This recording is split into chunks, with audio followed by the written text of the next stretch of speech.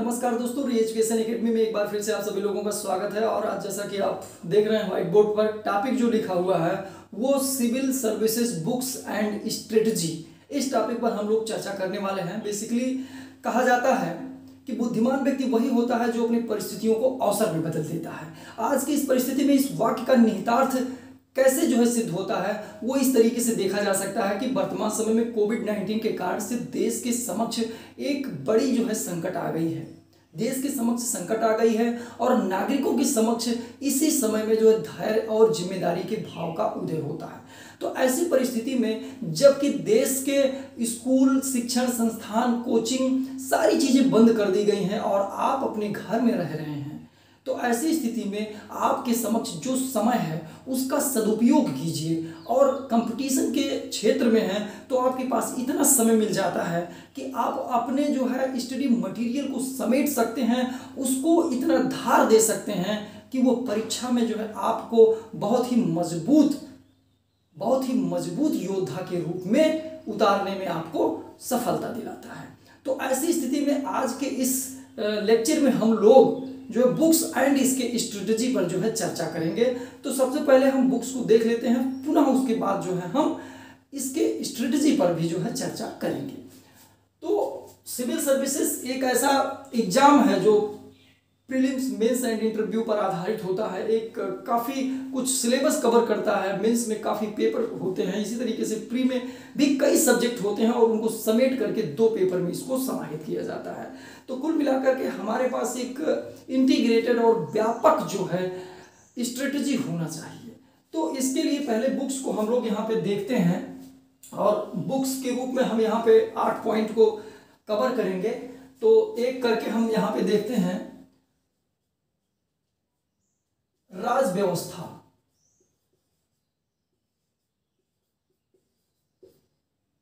जिसको पॉलिटी कहा जाता है या कॉन्स्टिट्यूशन एंड पॉलिटिकल सिस्टम कहा जाता है। इसके लिए आपको एम लक्ष्मीकांत, यम लक्ष्मीकांत की बुक है। इसके साथ में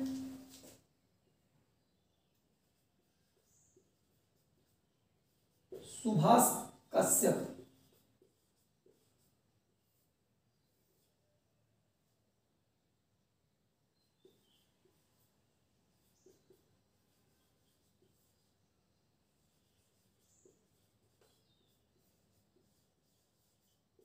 एजुकेशन के नोट्स और घटना चक्र पूर्वावलोकन।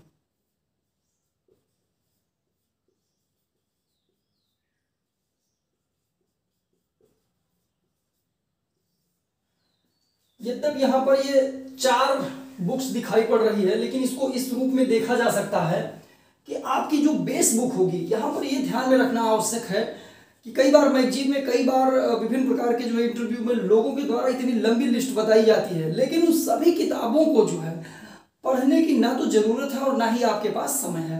बेसिकली यहाँ पर इन चीज़ों को बता करके मैं व्याख्या करना चाह रहा हूँ कि जो यम लक्ष्मीकांत की जो बुक है ये मार्केट में उपलब्ध विभिन्न प्रकार की इस टॉपिक पर लिखी गई किताबों में अभी तक सबसे बेहतर साबित हुई है विभिन्न परीक्षाओं में। और यह जो है, आपके संविधान एवं राज्य व्यवस्था की तैयारी के लिए यह एक बेस बुक है।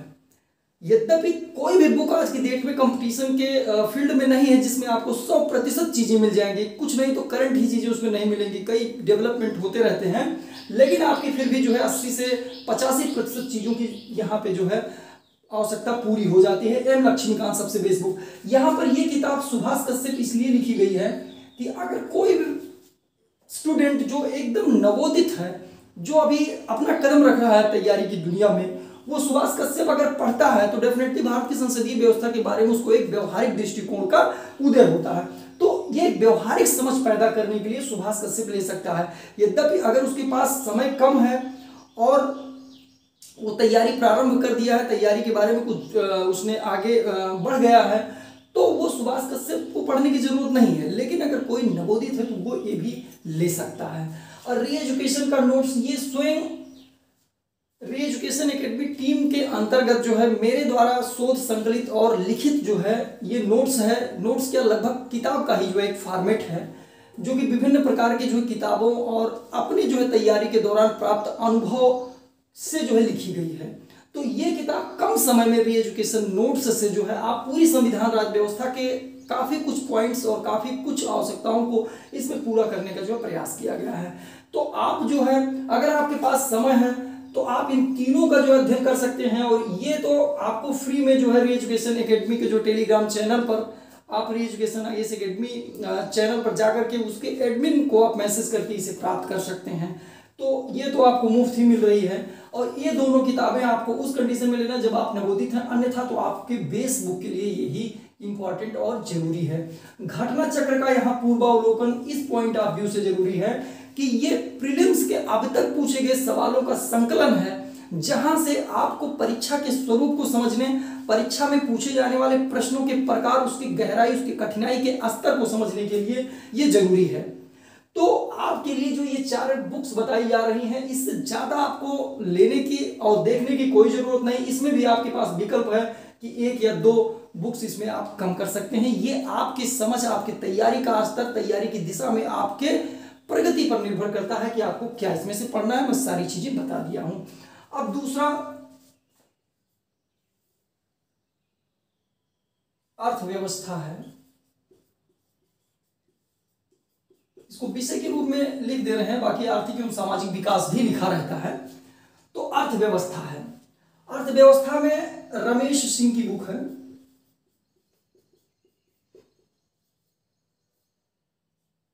रमेश सिंह की बुक है, ये टीएमएच पब्लिकेशन की बुक है।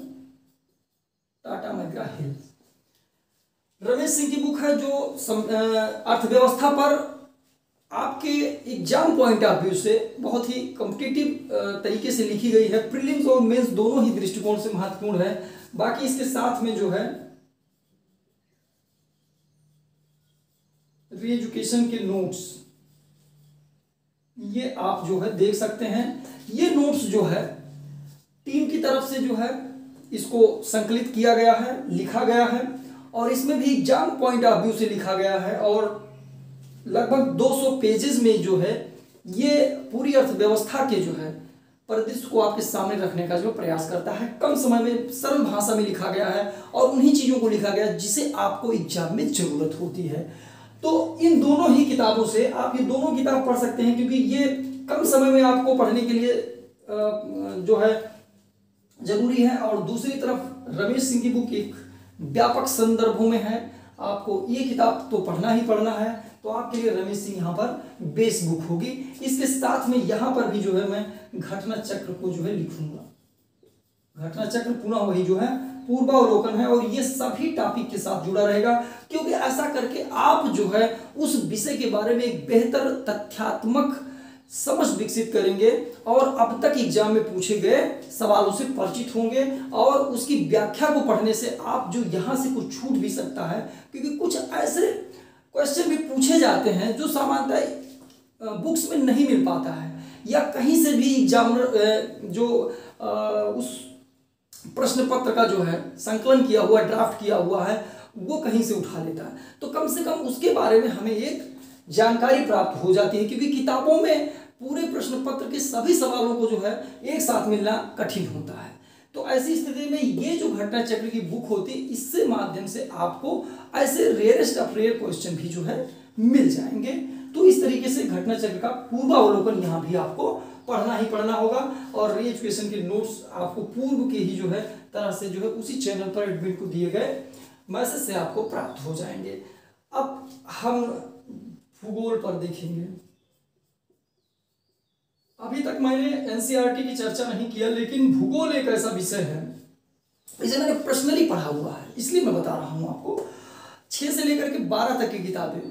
आप अगर वैसे तो नौ से बारह, लेकिन आप चाहें तो छह से बारह, क्योंकि बहुत ही इंटरेस्टिंग लिखा हुआ है। सेमी साइंटिफिक सब्जेक्ट है, एक इमेज क्रिएटिंग सब्जेक्ट है।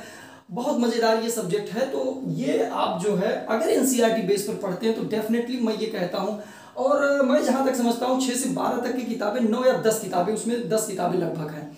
और ये ऐसा किताब है जो आप दो दिन में एक किताब पढ़ सकते हैं। इतना इंटरेस्टिंग है। अगर आपका पूरा समय उसी में है, खैर, अपने अकॉर्डिंग व्यक्ति अपनी क्षमता के अनुसार जो है टाइम टेबल बनाता है और पढ़ता है। लेकिन अगर पूरा टाइम दिया जाए तो दो दिन से ज़्यादा नहीं लगेगा। यानी कि पूरा भूगोल आप 20 से 25 दिन में जो है के पॉइंट ऑफ़ व्यू से मैं बता रहा हूँ। तो आप इसको जो है पढ़ सकते हैं। बहुत ही इंटरेस्टिंग है। और चीज़ों को बहुत ही व्यवहारिक ढंग से बहुत ही शून्य से शिखर तक के रूप में जो इसमें समझाने और बताने का प्रयास किया गया है। तो ये भूगोल जो है, आप एनसीईआरटी की जो है, बुक यहाँ पर देखें सिक्स टू लेकर के ट्वेल्व तक। इस इस बुक को पढ़ने के बाद आप बड़ी बड़ी किताबों के भी कॉन्सेप्ट को समझ पाएँगे, क्योंकि बहुत बड़ी किताबों में क्या है उसमें उदाहरण देकर के, चीज़ों के कई केस हिस्ट्री देकर के जो समझाने का प्रयास किया जाए। लेकिन यहाँ पे चीज़ों को सरल ढंग से समझाने का प्रयास किया गया है और उन सारी चीज़ों को, चाहे पिंड्स हो, चाहे चक्रवात हो, इस तरीके से वन हो, ये जो भी टॉपिक आपके इंडिया के जो है पर्सपेक्टिव है वर्ल्ड के संदर्भ में है, आपके भौतिक भूगोल है, सारी चीज़ों को इसमें बताने का प्रयास किया गया है। और एक यहाँ पर आपको और बुक है डी आर खुल्डर की जो है।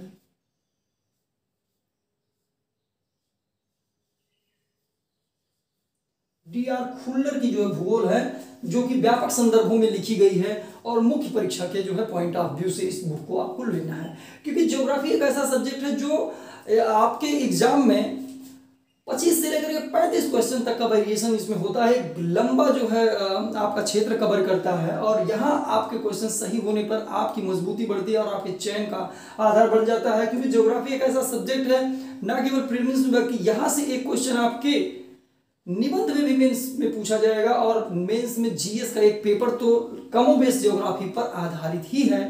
तो इस तरीके से ये जो ज्योग्राफी का जो टॉपिक है, वो बहुत ही इंपॉर्टेंट होने वाला है आपके लिए। तो एनसीईआरटी की छह से बारह की किताबें और डी आर खुल्लर की जो है ये मुख्य परीक्षा के लिए।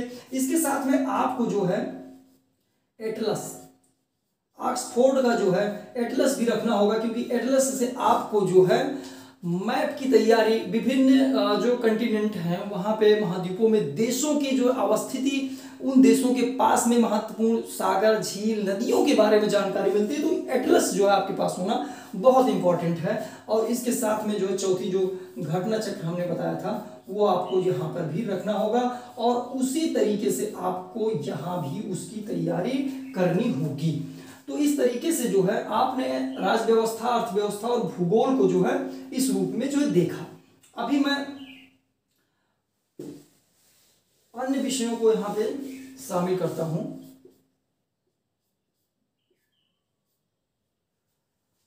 अगला है जो है इतिहास।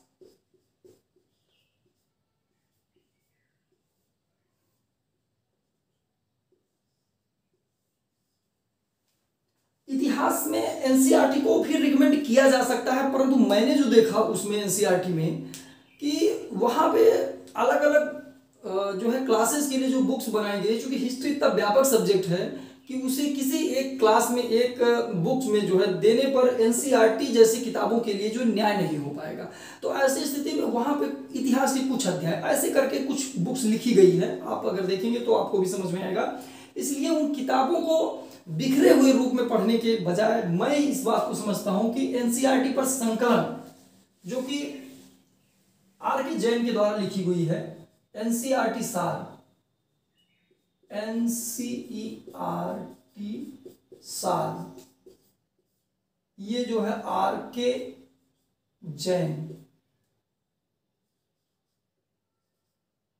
आर के जैन के द्वारा एनसीईआरटी सार देखेंगे तो ये लगभग ढाई सौ पेज की जो है बुक है और प्राचीन, मध्यकालीन, आधुनिक भारत और स्वतंत्रता आंदोलन को इसमें कवर करने का प्रयास किया गया है।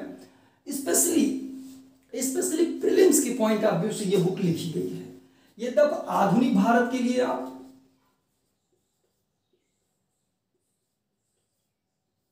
आधुनिक भारत के लिए जो है या आधुनिक इतिहास के लिए आप स्पेक्ट्रम की बुक जो है पढ़ सकते हैं। स्पेक्ट्रम अच्छा आधुनिक भारत और आधुनिक इतिहास पढ़ने का क्या इंपॉर्टेंस है? बेसिकली ये है स्वतंत्रता आंदोलन को जो कि बहुत ही महत्वपूर्ण जो है भाग है इतिहास का। यहाँ से न केवल प्रारंभिक परीक्षा में ज़्यादा सवाल पूछे जाते हैं, बल्कि बल्कि मुख्य परीक्षा में भी यहीं से सवाल आपके पूछे जाते हैं। तो इस पॉइंट ऑफ़ व्यू से आपका जो स्पेक्ट्रम लिखा भी गया है, वो बहुत ही व्यापक संदर्भों में लिखा गया है, एक अवधारणाओं को लेकर के लिखा गया है। तो आधुनिक भारत के लिए स्पेक्ट्रम की बुक आपको जो है पढ़ना ज़रूरी होगा। यहाँ पर कला और संस्कृत, आर्ट एंड कल्चर के रूप में अगर देखा जाए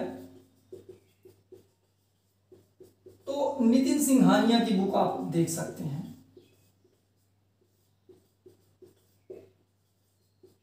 यहाँ पर किताबों की सूची बड़ी होती जा रही है, इसलिए आपके मन में एक सवाल भी आ रहा होगा। कि स्वयं मैंने कहा कि बहुत ज़्यादा किताबें नहीं पढ़नी है और यहाँ पर खुद मैं उस तरीके से लिख रहा हूँ। तो यहाँ पर आपको यह समझना होगा कि अगर आप प्रीलिम्स केवल एग्ज़ाम देने जा रहे हैं, केवल प्रीलिम्स का एग्ज़ाम देने जा रहे हैं तो इसके लिए आपको यही किताब पर्याप्त है। लेकिन चूँकि यहाँ किताबें इसलिए बताई जा रही है क्योंकि किताबों पर डेली तो लेक्चर लिया नहीं जा सकता, इसलिए बताई जा रही है बेसिकली कि आपके मेंस के पॉइंट ऑफ़ व्यू क्योंकि आपके मेन से ही आपके चयन का आधार बनता है और उसी के मार्क्स जुड़ करके आपके सफलता और आपके पोस्ट का निर्धारण करता है। तो डेफिनेटली यहाँ पे इन किताबों को भी बताया जा रहा है कि ताकि आप इसके साथ में पढ़ सकते जैसे ज्योग्राफी में भी है। आप एनसीआरटी का छह से बारह और घटना चक्र पूरा पढ़ लेते हैं। तो डेफिनेटली प्रीलिम्स के लिए कोई समस्या नहीं, लेकिन डीआर कुल्लर यहाँ मेंस के पॉइंट ऑफ़ व्यू से लिखा गया है ताकि आप मुख्य परीक्षा को भी उसी तेज़ी और मजबूती के साथ मार्क दे सकें जैसा कि आप प्रीलिम्स में जा रहे हैं। तो इस पॉइंट ऑफ़ व्यू से देखा जाए तो कला और संस्कृत के लिए नितिन सिंघानिया और इसके साथ में आपको अब जो बुक लेना है, वो घटना चक्र यद्यपि यहाँ पे अगर भाग के हिसाब से देखा जाए कि प्राचीन आधुनिक इस तरीके से तो किताबें लोग बहुत लिख देते हैं। जैसे मैंने देखा है कि भाई केसी श्रीवास्तव तो नो डाउट बहुत अच्छी किताब है। डेफिनेटली हिस्ट्री पढ़ने वाले स्टूडेंट के तो टेबल और जो है रूम में ये किताब होनी ही चाहिए। लेकिन चूँकि आप यहाँ पर जिस पॉइंट ऑफ़ व्यू से प्रिपरेशन कर रहे हैं, अगर आपको सब्जेक्ट लेना है हिस्ट्री के तो डेफिनेटली ये सब किताबें तो पढ़नी है। लेकिन केसी श्रीवास्तव की बुक काफ़ी स्टैंडर्ड काफ़ी जो उसमें पेजेस हैं, और अगर आप उसी को पढ़ना बैठेंगे तो मुझे लगता है कि काफ़ी समय उसमें जो है लग जाएगा। इसी तरीके से आप मध्यकाल में आ जाते हैं तो मध्यकाल में आप लई अहमद, सौरभ चौबे की भी तक किताबें पढ़ सकते हैं। और इसी तरीके से आधुनिक भारत के लिए जो है, आ सकते हैं। बी एल ग्रोवर और एस के पांडे ये सारी किताबें, किताबों की कमी नहीं है, इतिहास में किताबें भरी पड़ी हुई हैं। लेकिन आपको एग्ज़ाम पॉइंट ऑफ़ व्यू से जो है पढ़ना है। अगर आपको कोई चीज़ इसमें नहीं समझ में आता तो जिन किताबों का मैंने नाम प्राचीन काल, मध्यकाल और आधुनिक भारत के लिए अभी बताया, उनमें से भी कोई किताब आप पढ़ सकते हैं। किसी श्रीवास्तव पढ़ सकते हैं। लई अहमद या सौरभ चौबे, दोनों में से एक ही किताब मध्यकाल के लिए। इसी तरीके से आधुनिक के लिए जो है बी एल ग्रोवर या जो है एस के पांडे, एस के पांडे थोड़ी सी तथ्यात्मक किताब लिखी गई है। तो आप ये भी पढ़ सकते हैं, लेकिन मेरे जो है अनुसार आप अगर जीएस के लिए जो है पढ़ रहे हैं और पीसीएस के जो है एग्ज़ाम के लिए या आईएएस के एग्ज़ाम के लिए तो ये किताबें जो है ही आपके लिए जो है महत्वपूर्ण होंगी। और प्रीलिम्स के पॉइंट ऑफ़ व्यू से एनसीईआरटी सार पढ़ना और ये घटना चक्र ये दोनों ही किताबें महत्वपूर्ण होंगी। दो किताबें बीच की जो है वो मेंस के पॉइंट ऑफ़ व्यू से लिखी गई हैं। तो ये बात रही जो है इतिहास को लेकर के। अभी चार सब्जेक्ट के बारे में चर्चा हो गई। अभी हम जो है विज्ञान के बारे में बात करेंगे। विज्ञान से भी जो है आपके दस से लेकर के बीस क्वेश्चन के बीच में वेरिएशन होता है। कभी बाईस क्वेश्चन कभी अट्ठारह क्वेश्चन कभी बारह क्वेश्चन दस क्वेश्चन ऐसे पूछता है। फिर भी हम इसके महत्व को नकार नहीं सकते हैं।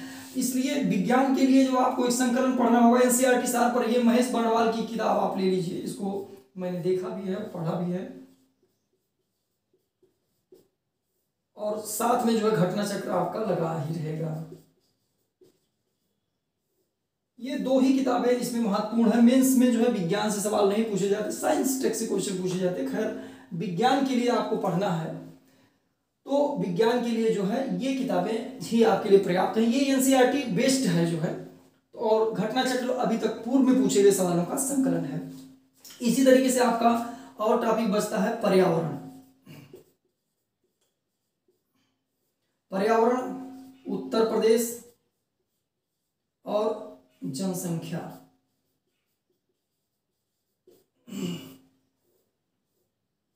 ये किताबें बचती हैं। तो पर्यावरण के लिए जो है आपको री एजुकेशन नोट्स देखना है। इसी तरीके से उत्तर प्रदेश के लिए भी री एजुकेशन नोट देना है। परीक्षा बाड़ी की भी किताब आप यहाँ पर जो है ले सकते हैं। परीक्षा बाड़ी की भी किताब ले सकते हैं।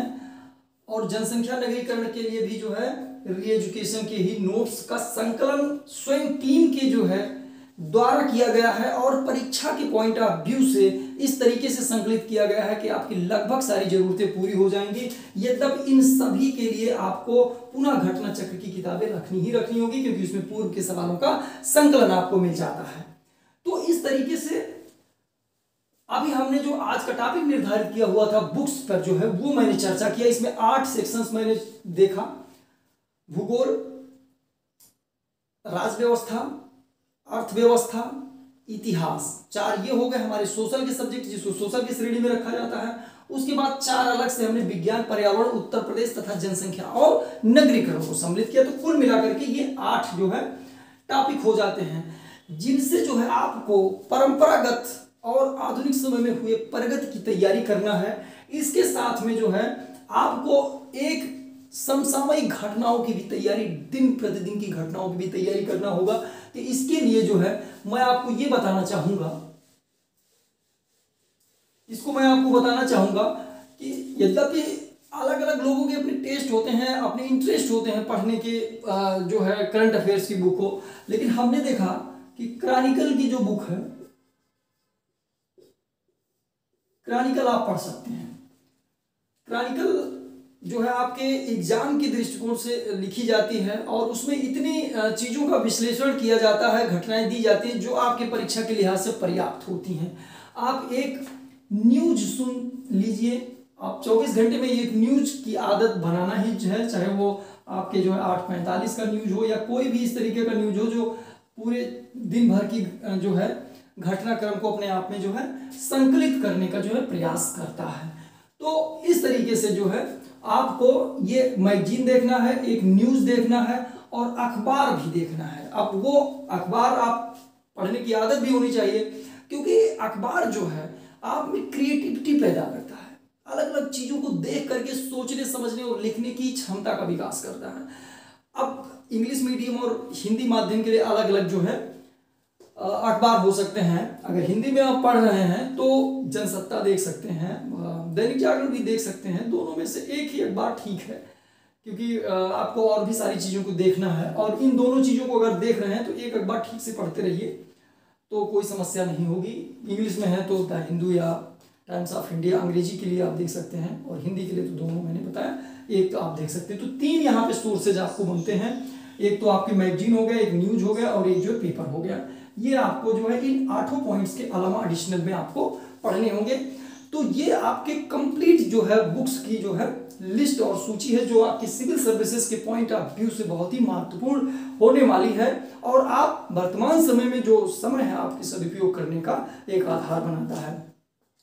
इनके साथ में जो है, अभी हम स्ट्रेटजी पर यह चर्चा करते हैं कि इन किताबों को किस तरीके से पढ़ना है और वर्तमान समय का जो समय है उसको किस तरीके से यूज़ करना है। बेसिकली आज का जो ये कोविड नाइन्टीन के कारण से आपको समय मिला हुआ है। आपके पास पर्याप्त समय है। शिक्षण संस्थान कोचिंग बंद है। आपके पास 24 घंटे का समय है, सोने खाने के बाद आपको पढ़ना ही है।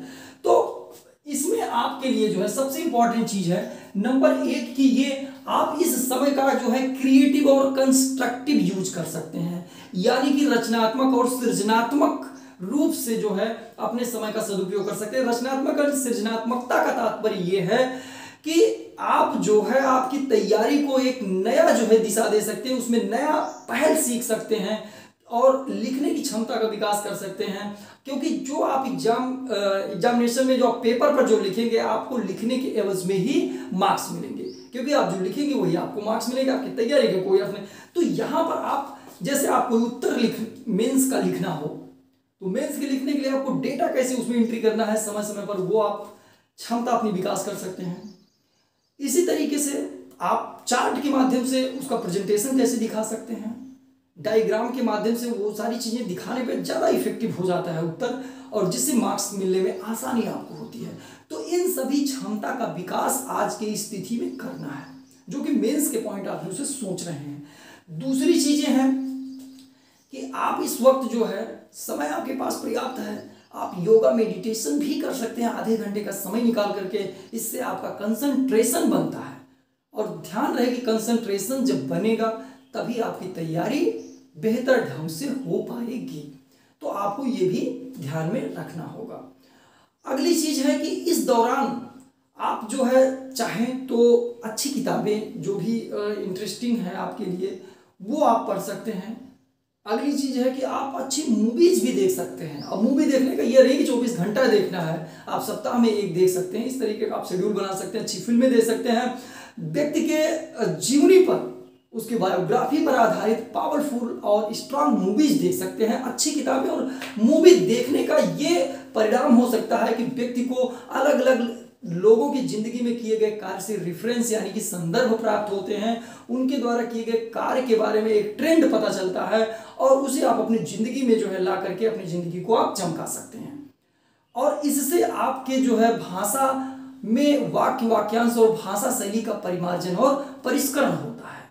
आप उसमें सुधार कर सकते हैं, बात करने की क्षमता का विकास कर सकते हैं, अपनी कॉन्फिडेंस को ऊपर कर सकते हैं। तो ये जो है, आज के समय का इस रूप में जो है, आप सदुपयोग कर सकते हैं। अगली पांचवी पॉइंट जो है, जो एग्ज़ाम के रूप में प्रत्यक्ष रूप से जुड़ा हुआ है, वो ये है कि घटना चक्र का जो अध्ययन आपको प्रत्येक दशा में ही करना है, क्योंकि इसके माध्यम से आपको एग्ज़ाम में पूछे जाने वाले सवालों के स्तर और कठिनाई के स्तर के बारे में आपको पता चलता है।